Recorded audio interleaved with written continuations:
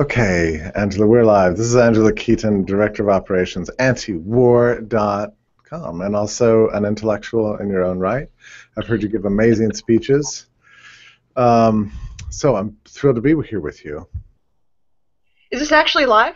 Yes, of course. Oh, so people are actually watching. Yes, yes. Oh, indeed. great. All right, so I'll be on my on my absolute best uh, best appropriate behavior. Uh, we would be so disappointed if that were true. Well, thanks to enormous peer pressure and, and, and bullying from uh, members of our community, I'm, I'm here with you today, and I'm very glad that antiwar.com joined uh, liberty.me yesterday. Yes. After abusing brutalism toward us, you must, must, must, must join. so that's right. I'm impressed, by the way. You literally got like every everybody to sign up, all my friends, even neighbors. I was just, I was stunned at how at, at who who'd been convinced. Well, look, I'm not. I'm not convincing anybody. It's. I think it's. It's the platforms that's convincing because it's. It's just a really cool uh, space for sort of incubating ideas, and it's a nice community. So that. I mean, that's. It's selling itself. It's not. I don't have to work at it. Uh, it's really great. I mean, It's keeping keeping our cult group contained to one area so we stop spreading and haranguing everyone on Twitter and Facebook so we don't scare off the old right and the hard left. Keep it all confined. All the behaviors right there, all the dysfunctionality. It's like Yeah. one large dysfunctional extended family. A lot of deviant behavior. yeah, yeah. Yeah, insofar as that's possible in dig- digital space, that's exactly what's going on. Uh, no, I mean, what, what's what's fun about it is that since everybody's got kind of skin in the game, everybody more or less um, wants to see the value of the property enhanced, and so people just assume they're friends, which is a little different from what you get elsewhere. Right. If you know what I mean. Yeah. Um, but look, just we don't need to say this to the end. If you want to join Liberty.me, you can go there now, subscribe, and put in your code, which is anti-war, right, on the checkout page, and then you get a third off. I mean, like a savings of about 35% off the usual rate, which brings it down just to, to absurd levels. It's like the price of a bag of chips once a month or something like that, and you get the whole experience, including nightly classes and. Um, and plenty of anti-war discussion, but of discussion on every aspect of, of human liberty. So not only that, if you join using the code anti-war, then that also supports antiwar.com because that you know that you get a, you have an affiliate relationship with us, so everybody wins for this. So if you like antiwar.com, you can join Liberty Me and also support antiwar.com. So everybody wins with this little situation here. Absolutely. Angela, can you just back up real quick? I mean, antiwar.com is a very famous uh, website. Everybody knows about it, but maybe not. I mean, it was founded pretty early on in the digital age. Yes, actually, it was actually really innovators. Um, Eric Garris, our founder, and along with Justin Raimondo, Alexia Gilmore, and Colin Hunter, who were all, and this is kind of an important thing, all part of Rothbard's Radical Caucus 2, which was a very important part of the history of the Libertarian Party. It basically, the second attempt, uh, the first Radical Caucus being Sam Konkin's group, um, to return the Libertarian Party to its to its radical roots as well as libertarianism to, to its core base. And in 1995, um, in December of 1995, Eric Garris bought the URL antiwar.com. It was bought by- 95. That was the first year that you enter, that you could even go out and buy domains like that, Right. wasn't it? Yes, in December December of 1995, and if you recall, I mean, there's a, I mean, Bill Clinton, that uh, that uh, that that particular monster, um, was of course carpet bombing Iraq every three days and doing all kinds of middle middle European adventures at the time. No one, everyone forgets just right. how the Iraq War has been going on since 1991, right? It's not, it's not. There's been no actual gap in it. It's we've been we've been destroying the Iraqi people for a very long time, and as my uh, my real life buddy Anthony Gregory says, I mean that basically is the crime of the 20th, 21st century is what we've done to the Iraqi people. And I kind of want to pick that back to what's important about antiwar.com. If you kind of distill um, the teachings of Murray Rothbard, the, most horrible, horrible thing the state does, of all the things the state does, is commit mass murder. It's a, it's a violence against. I mean, it's it's horrific mass violence that makes absolutely no sense to the rational mind, and the rational mind and logic being important for those of us from the objectivist tra- tradition. Um, antiwar.com, I got to say, we have an impeccable libertarian uh, legacy going back to when a young, like 14, 15 year old Justin Raimondo was called a genius by Ayn Rand. And that of course begins a whole history of things that leads up to antiwar.com. It's amusing, I know we laugh, but I mean it is it's all very very important. I, I do think antiwar.com is the core of what is important about what we do. Is, As Ron Paul would say, we're the ones who are against violence. There's all kinds of important things the libertarian movement does. I mean, you know, whether it's fighting against, you know, your lack of choice in light bulbs, or being able to, to smoke marijuana recreationally, or many other things. Like the Libertarian Party, for example, was on the vanguard of gay marriage and sexual privacy back in the 70s. The Libertarians were the ones who started that. I mean, it, it goes very, very hand in hand with the liberation, you know, sexual liberation and the gay and gay liberation. These are all important things, but the most dangerous thing that the that, that the state does is kill people. And when we're saying kill people, I mean people on the maps, whether it's in, you know, when we talk about when people are casual about talking about let's bomb Iran, for example, the squiggles on the maps are where people live. Human beings live there. And they are people just like you and me. They have families, they have mothers, they have interactions with people, they have hobbies, they have goals and aspirations and dreams. They love their children. And I know this is sometimes hard for people to get, but Central Asians and Persians and Muslims, um, and all, pe- all people love their children and they love their grandparents just like we do. They're human beings that, have they're fully realized. So when we do what we do so casually, it's really the it's the ultimate form, of course, of uh, state worship, as well as a, a, term that gets thrown around a lot. I think is hard, terribly misunderstood by most libertarians, but the idea of privilege, because it is a privilege when you live under the emperor. Of course, until the point that the war, the war, wars, endless war, the empire, it's constantly eroding our civil liberties. Now, I was born post civil liberties. Like I don't, I don't, I mean, I didn't really live under a Fourth Amendment. Nixon had already brought in the war on drugs by the time I was a child. So, the most of us, uh, probably most people living here, and everyone who's watching this is post New Deal. So our relationship with the state is that of really uh, an authoritarian, uh, a tyrant, and, and child. I mean, all of us. That's how all of us relate to the world. None of us really know any differently. But most of that behavior can be tied to things like empire. Empire has destroyed civil liberties through the Patriot Act, through all everything, all the way up to, and a lot of us don't really try to psychologically live in denial about this, and particularly we do at antiwar.com because of our particular circumstance, but the surveillance state, all the way to the NSA, where every conversation, every electronic communication we have is monitored, which of course erodes the dignity of normal relationships.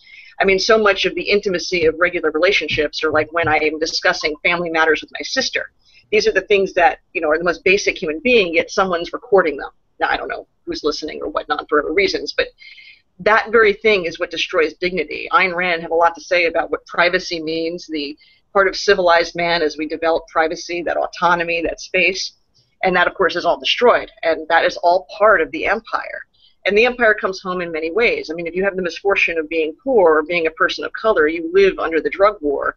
So, in which constantly reinforces the empire. The drug war is the war at home, and that reinforces what we do with the empire. And then veterans come back from Af- Afghanistan and Iraq and they join the police forces and they recreate the behavior and the techniques and what they did to they, what they do to civilians here is what they were doing to the, the non-people, the people that we dismissed as being human overseas, the one the people that we consider disposable, because clearly they're not uh, light skinned or smart enough or they don't have the proper gods. They worship, they do something differently or their customs are different or the tastes are different, as if they have no particular autonomy or feelings of their own. So to me, that this is, I mean, to me personally, but also to the entire, you know, all of the antiwar.com staff, past, present, and future. And we are a bit of a cult group because we are pretty tightly, we all very much agree on these core values about what it means to you know what it means to end the state and that means we have to end empire. I mean we're not ending empire. We're talking about war occupation and torture. These are the most horrible things and people live under these conditions every day. I mean somewhere there's a child who's grown up and he what he knows is that he saw his grandparents being blown up and we send killer robots overseas. I mean what kind of no civilized country would do that? That's the least civilized behavior i could possibly imagine. That's barbaric.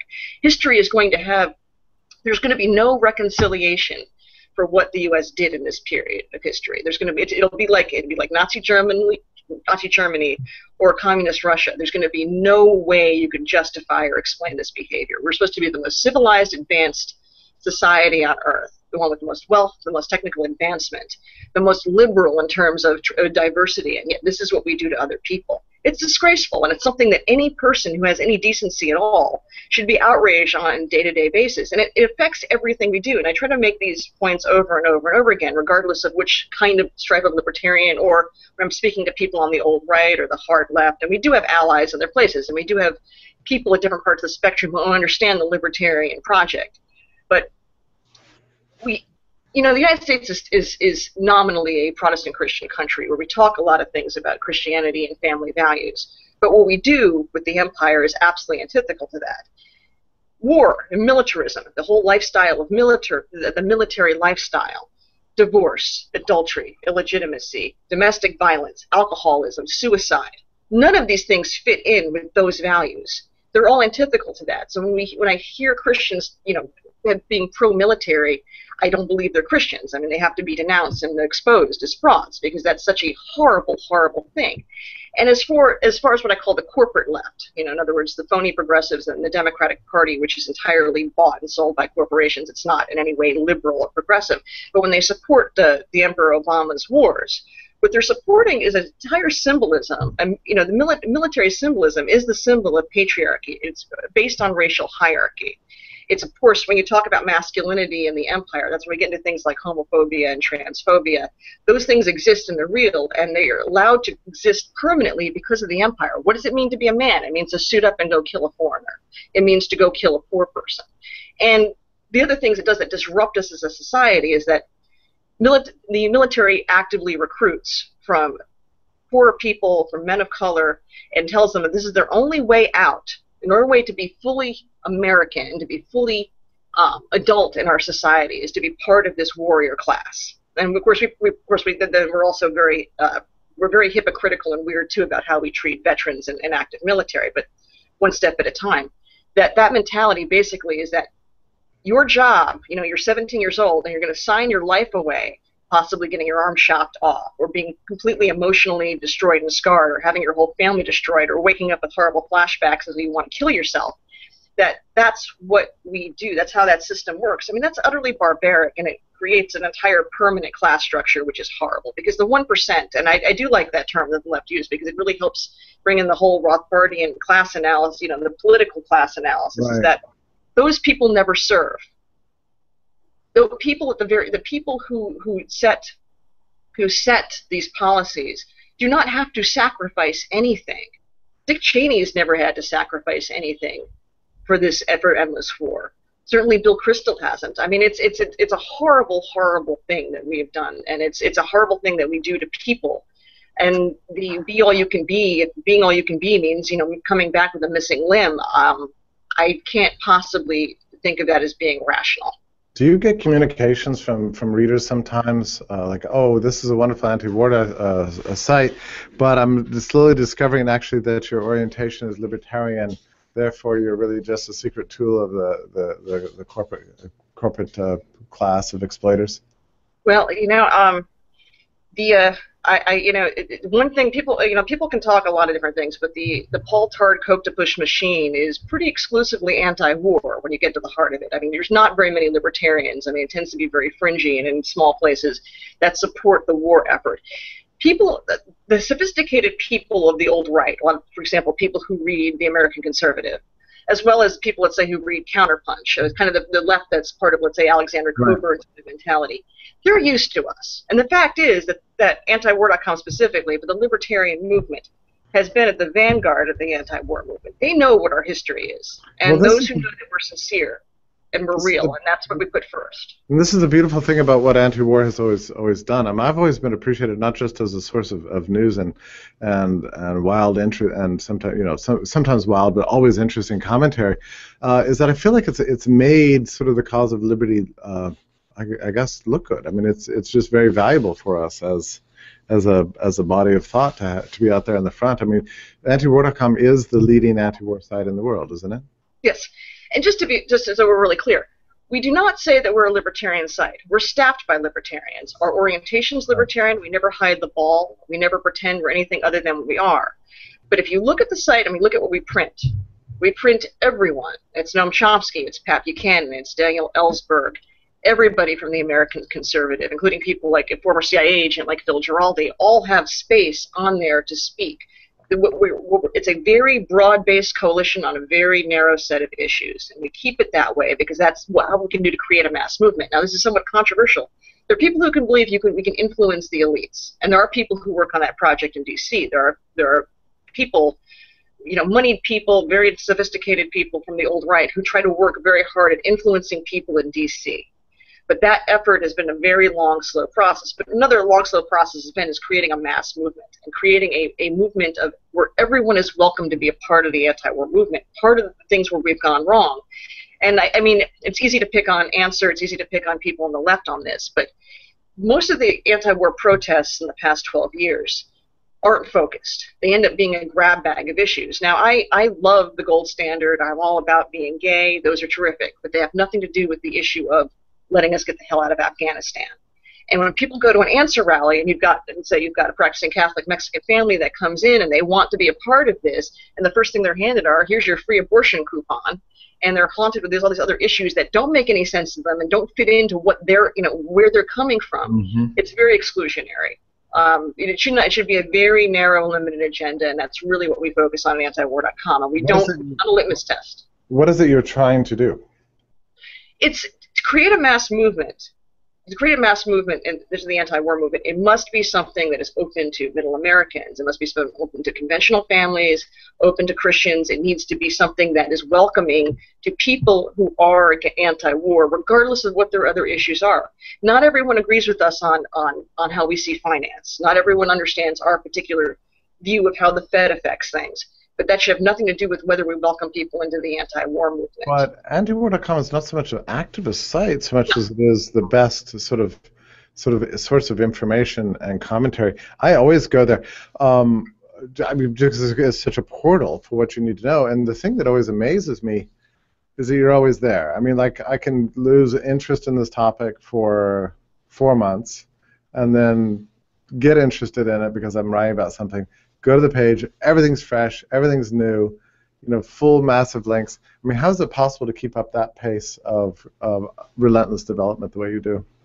Um, it's uh, very unusual, and part of it is because of our leadership. Eric Garris is utterly tireless. I've never met anyone with this kind of energy or devotion. All the staff, uh, former members of the staff, current members of the staff, everyone is committed in some way, in some form, and no one's really stopped working. But it's a lifestyle. I mean, you work at antiwar.com, you've kind of committed to a way of life. and page is freshened every day. There's new stories. You know, you don't go to. I mean, there's no really. There's no stopping. I mean, it's not like you get a day off. It sounds like, like a perfect description of what I've what's going on at Liberty.me. Actually, that's why I'm laughing. right. exactly the same thing. You've made a lifestyle choice. This is yeah. not a regular job. You're I mean, all in. Yeah, that's right. That's right. Uh, do you find that traffic goes up and down depending on whether foreign? Because uh, you know, Americans, they want people want to forget about foreign policy because it actually doesn't affect them directly, at least uh, as far as I know. So it's only when wars kind of become hot, when they come in the news, when there's a big Syria conflict, or you know, something's happening that the average member of the bourgeoisie is even interested in this question. Do you do you find that your traffic uh, goes up and down based on on on how hot or, or boring the international situation is? Yes, I mean, certain certain topics are real hot buttons. I mean, obviously, a year ago, when excuse me, that uh, when Glenn Greenwald and Edward Snowden and Laura Poitras and all these wonderful people who put their put them, their lives literally on the line to reveal information, um, traffic went through the roof again. New new wars tend to do that. Uh, new wars and new revelations tend to make it go up. People think it doesn't affect them though, but it does affect them. It affects, of course, uh, their dollar. Um, it's part of the reason, you know, we, our critique of the Fed when the, our finances keep shrinking. The war is making us poorer overall. It destroys resources. There's no wealth creation with war. I mean, there's the myth, and that's regularly debunked by all of our libertarian economists about World War II. Um, no one, I mean, it's a very, very tiny, tiny group of people who benefit at all from the war.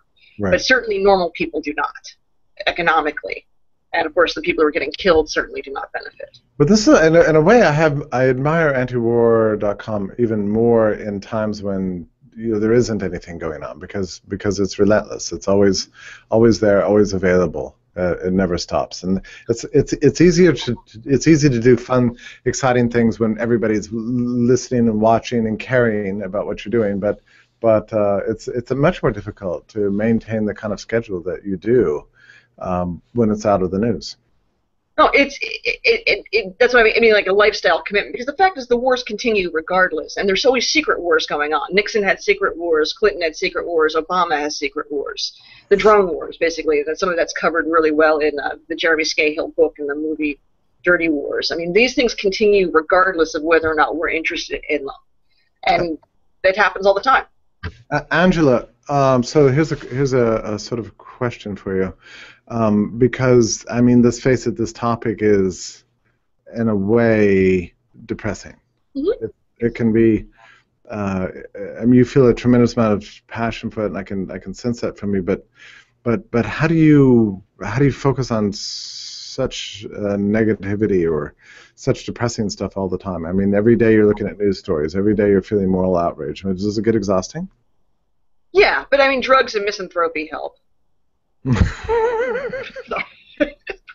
know, I have I have one of the worst attitudes of anyone in the movement. I have the least amount of team spirit for our family, but I think in most ways I'm the anarchist cheerleader because, you know, because I have to go out. I mean, I, you know, Eric Garris, uh, you know, is our leader, and Justin Raimondo does his thing in the woods. We kind of keep, you know, our, our, our H.L. Mencken kind of up in the woods in Northern California, away, kind of isolated. And you know, Scott Horton on and off for you. I mean, well, Scott's a, you know one of my personal heroes. Uh, yeah, I agree. I, I just I feel like I outsource all my foreign policy knowledge to him. You know, that that, he's there just makes me feel like, well, I can always ask Scott.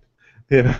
But I have, I'm the one who goes out on the road, and I'm the one who has to speak to Code Pink, and I'm the one who talks to Birchers. And yes, I do. I don't care. I don't care where I go to speak. I will speak to anyone who's interested in ending, who understands that we must end empire and militarism. And when I have to go out there, of course, I have to defend everyone from the Paul family to the Koch brothers because I come with all this baggage because I people know where I came from. I mean, I I do this because I am committed to this particular set of I, this this particular ideology and this philosophy of you know the non-aggression principle. It's non-violence. And that's the source, I think, of all civilized human relationships. We want to be fully adult. If we want to really advance as a, as a species or whatever the hell, we have to agree on non-aggression. And that's I, that to me is what the heart of this is. And this is the most aggressive thing we do. So yeah, it, it's hard not to have a bad attitude at the 1400 time. I mean, every day you're reading about death. That's what you're at death, pointless property destruction, the ending of cultures, the undermining of, uh, of countries, and what we and that's why what we did in Iraq was so horrific. We totally destroyed an entire infrastructure. We took a country that was actually semi-modern and had right. that was functioning, as horrible as that monster Saddam was, and that isn't, you know, and I mean, we're not apologists for any of the regimes that we're trying, you know, of the people. We're we're defending the people, not the regimes. But we turned Iraq into a literal hellhole an absolute nightmare. That's what the United States is. And I say we, and I'm thinking about this. I mean, we we all contribute in the ways, whether it's through the use of our Federal Reserve notes, which is why you know we talk about digital currency, or just our passivity or our supporting the troops. I mean, wherever I go, and I talk about this, I fly Southwest a lot oh, we have one of our soldiers on the plane. Well, what am I clapping for? I'm clapping for a very large welfare system that I would never want to pay into in the first place because that's what it is. It is a welfare system. And what the what the recipients do are go out and kill people to make that supposedly to make me feel safe, and all they've done is make my life more dangerous and more difficult. So it's a it's a horrible thing, and it, yeah, it doesn't. You know, you you have be completely committed to it to want to stop. Well, but there's also another side to it, also. But uh, in that, insofar as you're revealing this information, getting the word out, educating people, becoming a, a portal for the revelations that people would otherwise not ever have access to. Aren't you actually increasing the likelihood of peace, just just on the on the margin, just just helping the world to be uh, a more honest, true, and maybe just place? I, I think that's what we're doing, but we've had, and, but I mean, it's not just us. I mean, it's been a collective libertarian effort. I mean, one of the best known anti-war activists now is a uh, an elderly uh, obstetrician named Ron Paul, and one of the things why he's so important is is that he knows how to speak to normal people. He knows how to speak to Middle America in a way that a lot of us probably don't, because you know we come to anarchism, uh, which is where I'm coming from, you know, with other, you know, other things like whether it's, you know, support for LGBT liberation and other, these other issues. Um, he knows how to speak to normal people about the war, and he's done so much in terms of getting regular people to realize how horrible this is. And one of the things in 2008, when I was in uh, Minneapolis, is when this huge alternative GOP convention that Ron Paul had, and that "End the Fed" chant became the "End the War" chant. And there was probably only one other time in my life that I could hear 11,000 people scream "End the War," and that was the very first um, protest in, in Austin, Texas, for uh, against the Iraq War. I mean, against uh, yeah, or the invasion of invasion of Iraq. Which one? Um, the most recent. This would have been the. Um, this would have been in 2000. Two, three. Yeah, two. Yeah, yeah. 2000. I'm sorry it's all swimming in my head right now. But yeah, because there was 90, yeah, there was a ton of them actually. we, keep, we, keep, invading and reinvading and reinvading. Yeah. um, okay, so you mentioned digital currency. One of the things that we're doing at Liberty.me is accepting Bitcoin, and uh, that also works with the discount code anti-war on the second page. So if you use that and and want to subscribe with Bitcoin, then uh, anti-war also benefits from that. And I understand now that anti-war is also accepting uh, Bitcoin. Well, we've actually been accepting it. Uh, we, we started accepting it formally in November of 2012, but we've decided to make it a more formal part of the educational process. The digital currency generally is peace currency. And it's really not, we're not trying to get people to disrupt their lives economically, but we want people to think more deeply about mm. our financial system and how it, how the constant printing of money is going to allow empire forever. I didn't realize that you were accepting Bitcoin even before I, I believed it was anything other than magic internet money. That's that's very. Well, I used to call it a profane name, which I won't say on your on on, on in, onto the Liberty Me viewers. It's only I had my own I name. We can imagine. Yeah, uh, being kind of you know old school Austrian, I kind of you know had my but. It took a while. It took a while for me too. It took about two years actually. Yeah. It doesn't matter whether I like it or not. Digital currency is here. We're yeah. going to use that, and um, people talk about the dollar collapsing, but as long as the system is able to print money and get people to psychologically accept that, empire can go on and on. And when I say empire, we have somewhere between 700 and 1,000 bases around the world where the yeah. U.S. has a presence and is maintaining them. Yeah, what a beautiful, peaceful commercial republic we are. Um, so uh, now, Antiwar is going to be posting at least one article on Liberty.me a week, as I understand it. So I'm excited. Probably every day. You're going to be posting every day? I think every day. I think we kind of talked about that last night with our with our staffers and said, yeah, we're going to probably put something on there every day. The traffic is there. You know, I think I think yesterday we had 25 new articles on the site. It's growing all the time. The network is booming. Um, every day we you know there's just a flurry of new subscribers. So I'm just really happy to welcome you and. Uh, you know, you play a very important role here. Uh, I admire your work. I uh, it's a pleasure to talk to you. Actually, I, I'm intrigued by your perspective. Always have been. Um, I've seen you at several conferences. I appreciate your passion, your consistency. Your kind of old world, you know, hard, hardcore anarch- objectivist anarchism. Many things are wonderful about you, Angela, and your work ethic too. And I appreciate your uh, willingness to cooperate uh, together with Liberty Me. So. Well, thank you. Uh, so, uh, in closing, just go uh, if, if you're if you're interested in subscribing to Liberty Me, which you should be. Um, just you can subscribe and put in that code antiwar.com. Help both ventures, and we all grow together.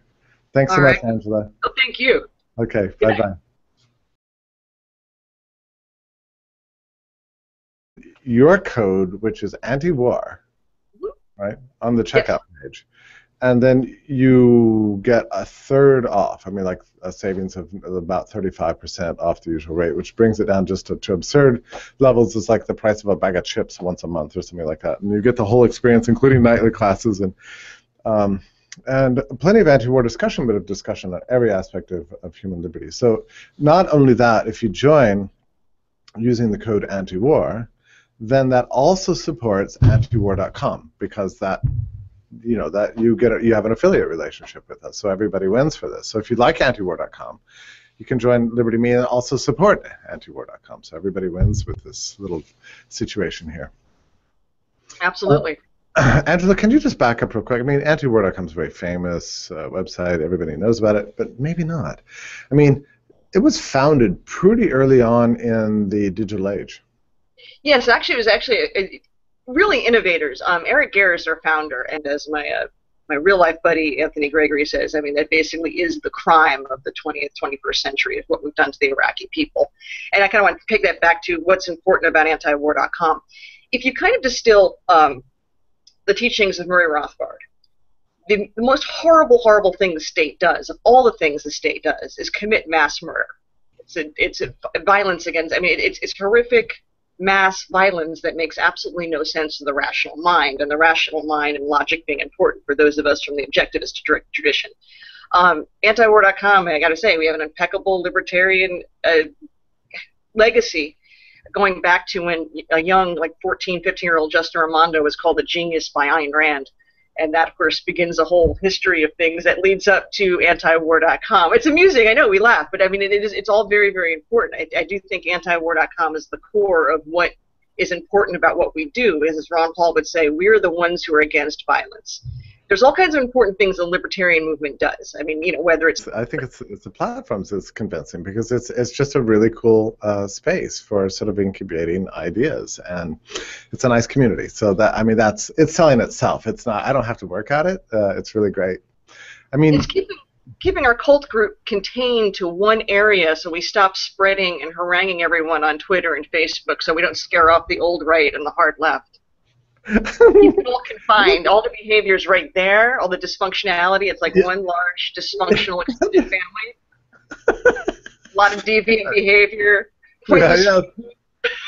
yeah, insofar as that's possible in di- digital space, that's exactly what's going on. Uh, no, I mean, what, what's what's fun about it is that since everybody's got kind of skin in the game, everybody more or less um, wants to see the value of the property enhanced, and so people just assume they're friends, which is a little different from what you get elsewhere. Right. If you know what I mean. Yeah. Um, but look, just we don't need to say this to the end. If you want to join Liberty.me, you can go there now, subscribe, and put in. Okay, Angela, we're live. This is Angela Keaton, Director of Operations, antiwar.com, and also an intellectual in your own right. I've heard you give amazing speeches. Um, so I'm thrilled to be here with you. Is this actually live? Yes, of course. Oh, so people are actually watching. Yes, that's. Oh, indeed. great. All right, so I'll be on my on my absolute best uh, best appropriate behavior. Uh, we would be so disappointed if that were true. Well, thanks to enormous peer pressure and, and, and bullying from uh, members of our community, I'm, I'm here with you today, and I'm very glad that antiwar.com joined uh, liberty.me yesterday. Yes. After amazing brutalism toward us, you must, must, must, must join.